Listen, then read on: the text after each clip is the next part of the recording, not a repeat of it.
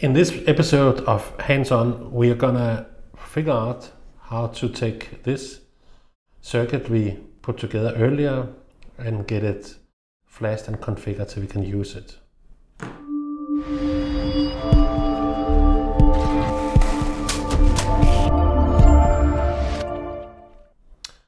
So let's start with this page here on our wiki. So this is our main page. If you go to uh, wikixinabox.cc, you get to this page. And this is a kit we already have. We call it XK01.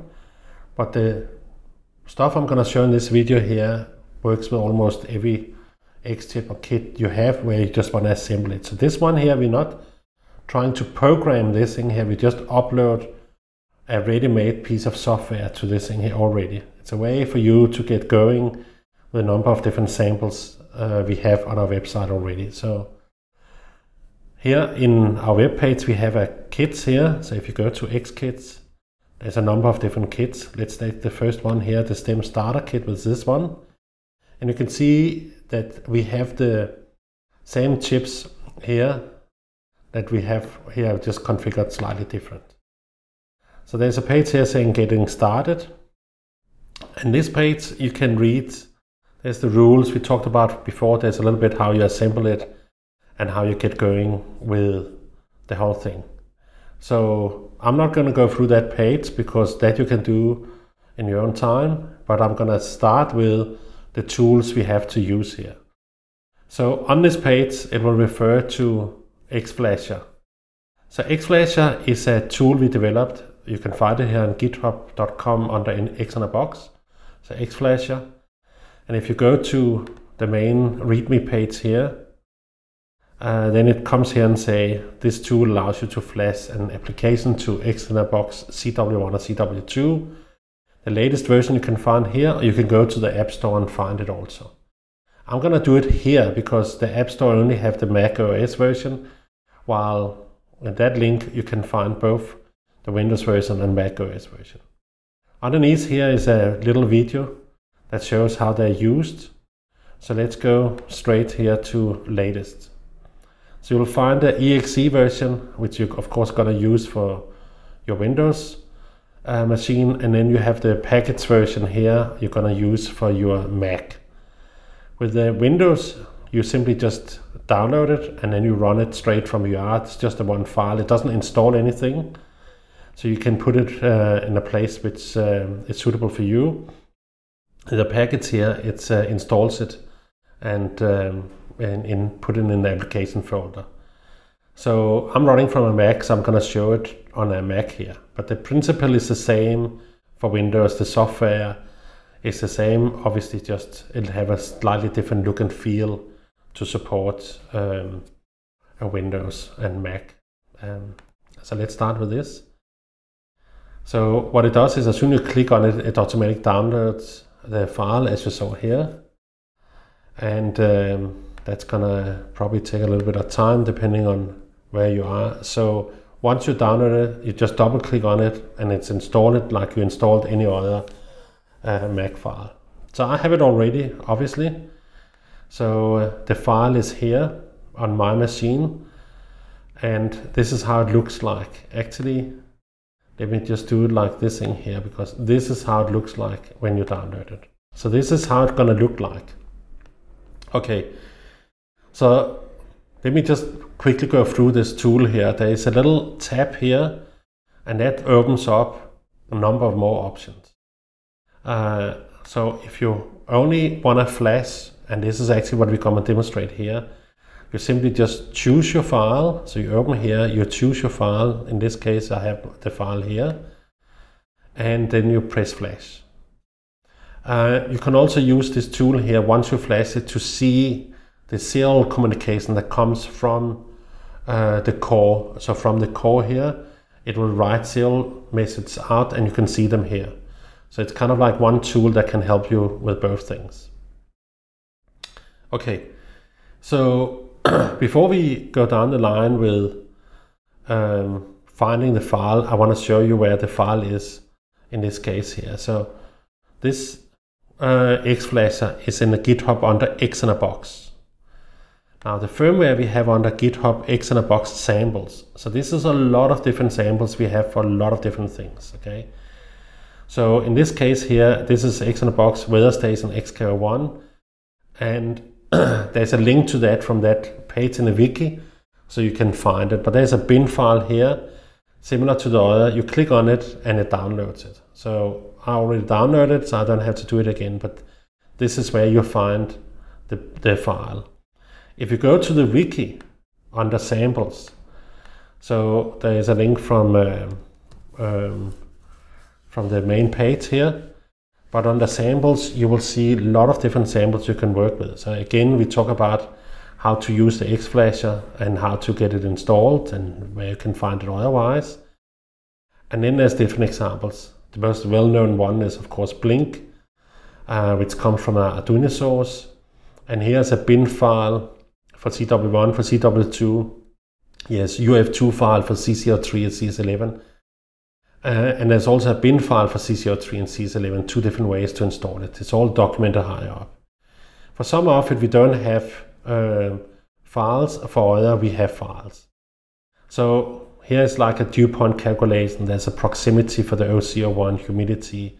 So there's a lot of examples here, and it shows with the different X chips which one that um, that you need in order to see the example. If it says XinaBox, we made the code. If it's like Arduino or Adafruit, then that's their code they have made somewhere and published it.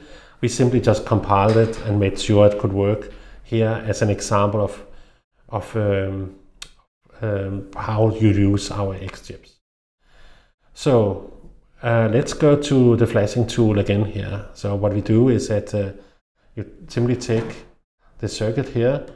Now, as it is here, these connectors make sure that everything is connected from the different circuits. And of course, uh, when there's two connector uh, to a chip, then there's two ways it can go in. So even if you have a bad connector or it's, it's um, a little unstable, everything have multiple routes to go to um, for the for the power and for the signal to come around. So the core sits here and is getting programmed with this one here, but that could sit there and the programmer could sit there. You can take these chips out from this side and from that side as long as that core and that IP01 is connected. But it's easy just to plug the whole thing in instead of connect and disconnect it again and again. Now, because I already have programmed it, it ran some software already. Don't worry about that. And this is just a power LED to show it's running. So we go back here, I find the bin file and I open it. Now, this bin file here, I know it's going to ask for some question that's important. And when we have these examples, normally when you program for Arduino, you can inside the source code, you can tell, for example, what Wi-Fi you're running on. So what's the SSID, is it called for the Wi-Fi, and what is the pre-shared key or the password for the Wi-Fi. You can type that in the code and then you can compile the code and put it on chip. But what do you do if you already have compiled it and you want to do it afterwards? You have to have a method to put it in. So what we've done is that we have, via this tool here, figure out a way to actually take the questions that the software have and answer them and put them into the software before we download it here. So when I press flash here, it starts first asking question, which is specific for software for this one here. It's not for all the different software, just for this circuit and for this example. But it gives a good example of what kind of question you could imagine you're getting. So let's start. So the first thing it says provisioning started here in background, and this is called provisioning. That's a technical term for what we call it when we kind of like configure this thing here. So you can imagine it's the same software for everyone, but the question is specific. So how do you want to run it? In this case, it's online, offline. Online means it uses the Wi-Fi and connect online. Offline means that it doesn't connect anywhere. You can only see the data on that little screen and you can see it here in this um, black part of this program here. So we want to run it online. So the next question is SID or network, um, the network you want to choose. Normally when you do it on a phone like iPhone or Android phone, or you do it from a computer, it's a drop down and it gives you a list of all the different um, network you connect to. But that's because you connect that device in that environment. This one here can't tell you what's there because it first of all doesn't know what's there, but also are you connecting to the network here or you connecting to another network? So in this case, you always have to type it in. So the network here at XinaBox is called XinaBox. And the password is rapid IoT. Rapid, sorry, rapid IoT. And right now, I realize I made a mistake because we're not using the XinaBox. Um, uh, Wi-Fi here, we're using the XinaBox media.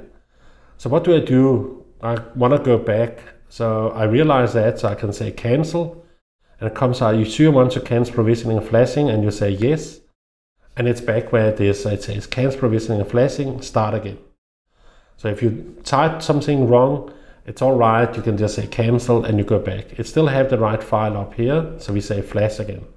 Online. Now XinaBox. And again, box media. Click here and it's rapid IoT. Say okay. Device name. So I'm Bjarke, so let's call it Bjarke organization X in a box limited. Now this asks which server we want to connect to. So typical once you connect to Wi-Fi, it's going to connect to some server. We defined it to be some specific server, but you could have a question that can give me the IP address or give me the uh, domain name or port number, that kind of stuff. So here we have one that's called XinaBox. This thing can also operate in a ThinSat satellite program, so it can connect to there, but we say XinaBox. And then there's an optional question here for Blynk. So we're not going to cover that, but it's an app that runs on iOS and on Android that allows you to communicate with this thing here from that app. It's not an app we developed. This comes from a company called Blynk. Their website is blynk.cc and it spells with a Y. So we're just saying okay. And then it's said provision completed here and uh, it's going down. It figured out that uh, we changed the thing here a little bit and now it's actually provisioning it.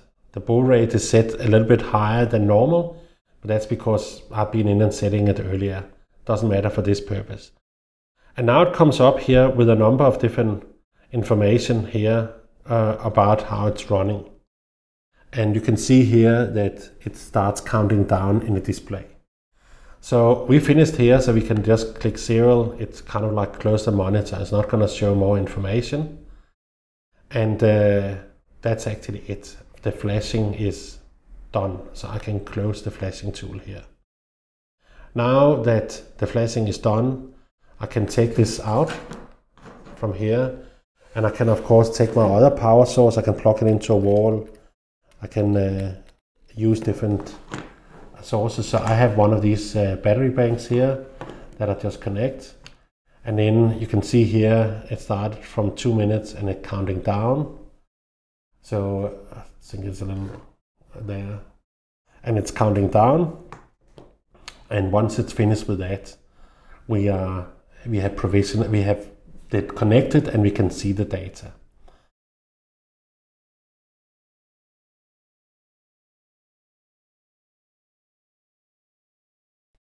So now it's finished and written a little bit of text here.